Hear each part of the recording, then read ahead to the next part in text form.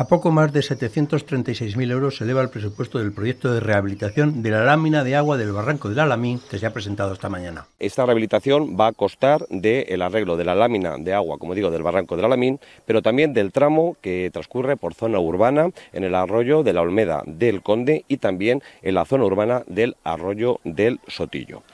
El presupuesto eh, que se ha destinado para esta partida son 736.178 euros. Un presupuesto que va a ir a cargo del canon del 8% que tenemos también establecido en el Ayuntamiento de Guadalajara con la empresa, empresa concesionaria Guadalagua. Santiago López Pomeda anunciaba que la adjudicación será inmediata y el plazo de ejecución de la obra se cifra en unos cuatro meses. Ahora mismo el procedimiento está en fase ya de adjudicación. Mañana mismo eh, entra en mesa de contratación y en las próximas semanas tendremos ya una adjudicatario. Una vez que eso se formalice y ese contrato se ve firme, en las próximas semanas comenzarán las obras, como digo ya, con carácter inmediato y tendrán un plazo de ejecución de aproximadamente cuatro meses. Tras las lluvias torrenciales de junio del pasado año, se han hecho estudios para ver en qué estado se encontraba cada tramo y se comprobó que los daños son considerables. La lámina del agua del barranco de la Min está constituida por 40 vasos y 39 azudes, partes de los cuales pues, se encuentran en mal estado por esa pérdida de caudal que circula por ellos. Los vasos, como todos sabemos, están formados por losas de hormigón armado y una impermeabilización de la lámina en PVC. Y hay una sección también de tramos que está totalmente destruida y por tanto se hace precisa también su rehabilitación.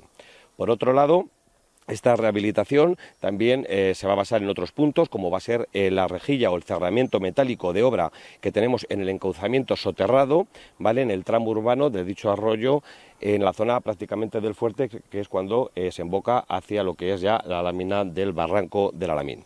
Además, también está dañada la reja, que está asistente a cielo abierto, y hay pérdida también de material granular. También tienen previsto instalar un sistema de control de cauces. En total se van a proceder a rehabilitar 13 eh, vasos dañados, se va a mejorar la capa superficial de todos los azudes, así como toda la impermeabilización de la lámina fluvial.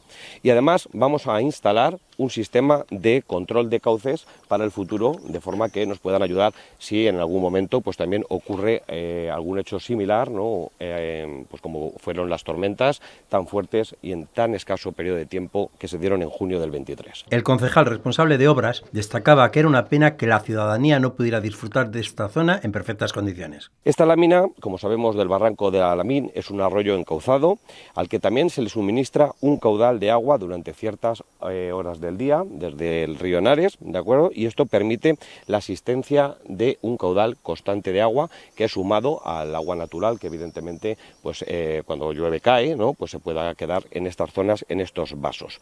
Es por ello que se hace preciso que se ponga esta rehabilitación en marcha eh, cuanto antes, porque también nos encontramos en una zona en la que los ciudadanos de Guadalajara pues normalmente disfrutan, es una zona verde, es una zona también eh, deportiva, donde se puede caminar, donde se puede eh, ir a pasear y que evidentemente pues no tener este cauce en buenas condiciones pues supone también una merma para la ciudad de Guadalajara. En total se va a actuar sobre más de 11.300 metros cuadrados y no será necesario hacerlo sobre el conector, como se temía en un principio porque no está afectado. Estado.